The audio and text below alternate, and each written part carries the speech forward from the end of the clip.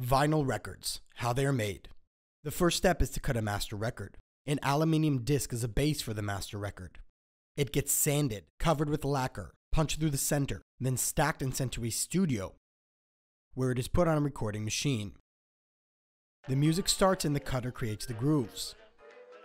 Afterwards, the master record gets washed and sprayed with a tin chloride liquid silver. To stiffen the disc, it gets lowered into a solution that fuses nickel to liquid silver. Now we have a stamper. A hundred tons of pressure make the record that eventually ends up on your turntable.